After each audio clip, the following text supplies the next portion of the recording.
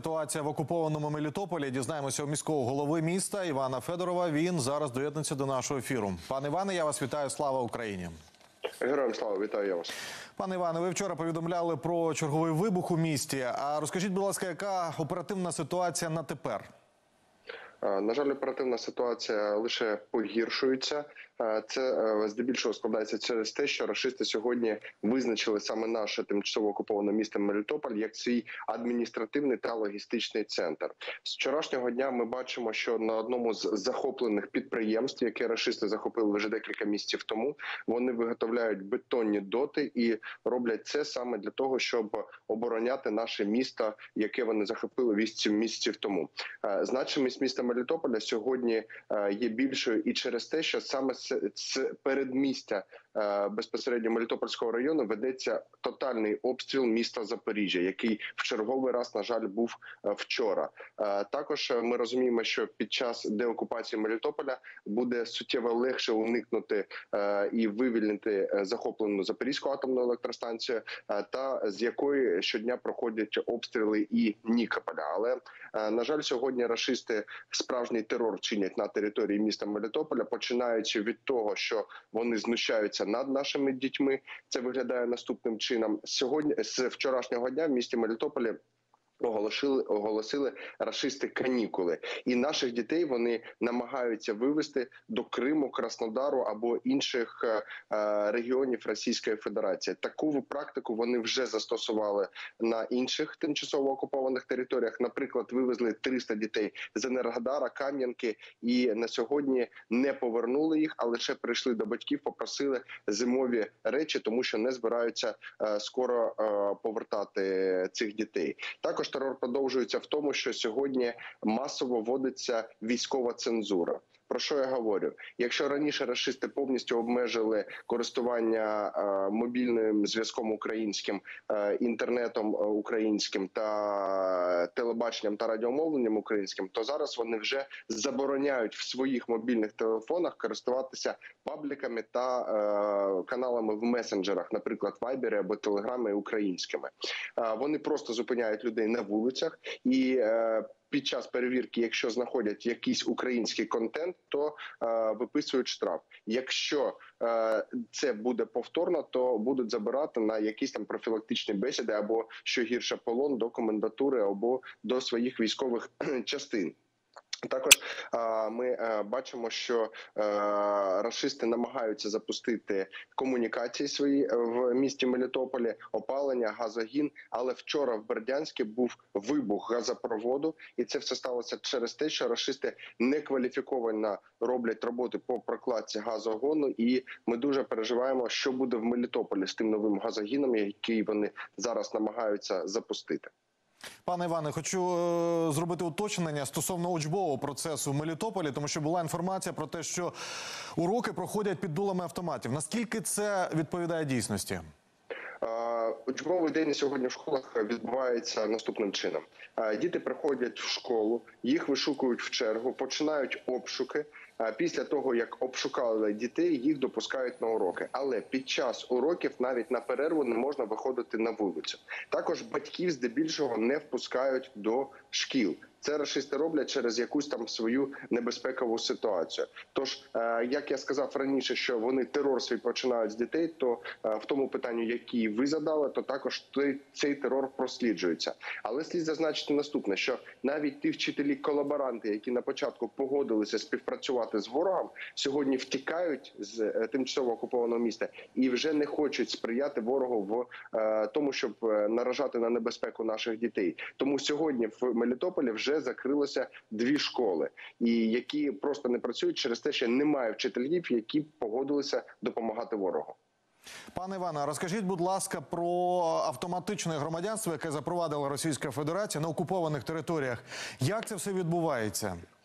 Ми говорили про те, що під час підписання цього фейкового договору між Херсонською Запорі... частиною Херсонської, Запорізької, Донецької та Луганської областей та диктатором Путіним там є прописаний пункт, який говорить про те, що всі мешканці, які залишились на тимчасово окупованих територіях, автоматично стають громадянами Росії. Навіщо їм це треба?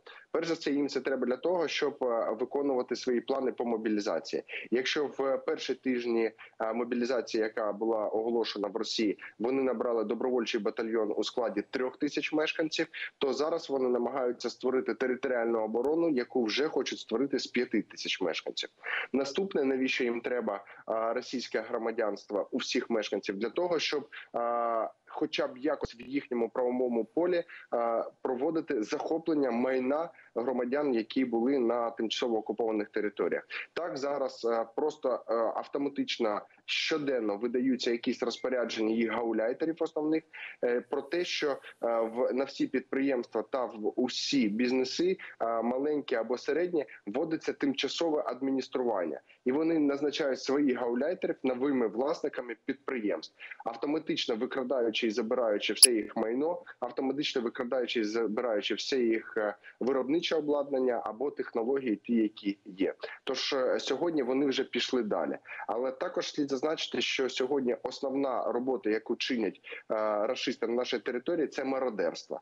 Наведу приклад: є такий курорт Кирилівка, на базі якого сосредоточено більш ніж 450 баз відпочинку, де регулярно більш ніж 3 мільйони наших мешканців нашої держави відпочивало щороку. Зараз вони все, що роблять на цих базах відпочинку. То це викрадають бойлери, раковини, все майно, яке є на базах відпочинку, просто займаються мародерством. Розкажіть, будь ласка, чи проводиться у місті примусова мобілізація? Чи є людям е, можливість уникнути цього? Єдиний шанс уникнути це звичайно ж виїжджати з тимчасово окупованих територій. Так вона проводиться. Е, Як я вже сказав раніше, то вони сформували тритисячний, е, начебто добровольчий батальйон, але звичайно ж добровільно туди ніхто не пішов.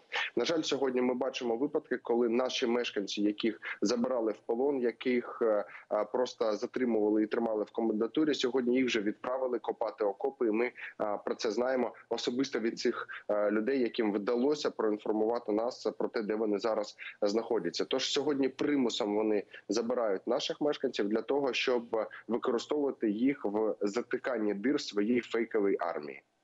Ви вже зазначили, що росіяни блокують е, мережі для того, щоб е, мешканці Маріуп... е, Мелітополя не могли дізнатися інформації від українських е, змі. Наскільки зараз там от е, розповсюджується пропаганда російська, і наскільки людям можна все таки знайти альтернативу і дізнатися, що ж насправді відбувається? Вкрай складно, вкрай складно комунікувати з людьми. Зараз е, здебільшого починають працювати лише особливі особисті контакти. Це ті мешканці, які виїхали на територію е, підконтрольну нашому уряду, або знаходяться в Європейському Союзі. Вони комунікують зі своїми родичами, які залишились на тимчасово окупованій території. На жаль, на сьогодні це майже єдиний канал комунікації, який залишається. Рашисти, звичайно ж, закрили всі ці канали комунікації, наші демократичні, е, для того, щоб промивати мозок нашим мешканцям і давати їх, годувати їх своєю рашистською пропагандою, в якої ми знаємо, що немає ні кап, ні краплі жодної правди. Тому сьогодні ми закликаємо всіх наших мешканців, які мають родичів на тимчасово окупованій території, якомога частіше їм дзвонити, якомога частіше з ними обмінюватися інформацією і давати їм справжню інформацію про те, що наші збройні сили точно не забули про тимчасово окуповані території. Наше найвище політичне керівництво ставить собі на меті якомога швидше звільнити ці тимчасово окуповані території, і даючи цю правдиву інформацію, ми точно зможемо поламати ту пропаганду, яку ворог намагається щодня посадити в голову наших мешканців. Пане Іване, от на Херсонщині окупанти е, закликають виїжджати людей, але виїжджати виключно вглиб окупованих територій або на територію Російської Федерації. Чи є можливість виїхати з Мелітополя на територію е, неокуповану в Україну? На жаль, це досить складно, тому що якщо ми кажемо виїзд одразу на територію, е, яка підконтрольна уряду України, то, наприклад, завчора виїхала. Всього 90 людей. Наведу приклад Е, півтора місяця тому щодня з Васильівки до Запоріжжя виїжджало майже тисяча людей. Тому сьогодні суттєві обмеження вводять рашисти. Навіщо вони це роблять? Тому що Їм потрібні мешканці, щоб вони залишались на території і проводити свою мобілізацію. Вони не хочуть ходити по порожніх вулицях. А вже майже 50% наших мешканців виїхали з тимчасово окупованої території. Тож сьогодні вкрай складно виїжджати на територію підконтрольного уряду України. Рашисти максимально це блокують. Пане Іване, я вам дуже вдячний за цю розмову, за те, що ви знайшли можливість доєднатися до нашого ефіру. Гарного вам дня. Дякую. Це був Іван Федоров, міський голова Мелітополя.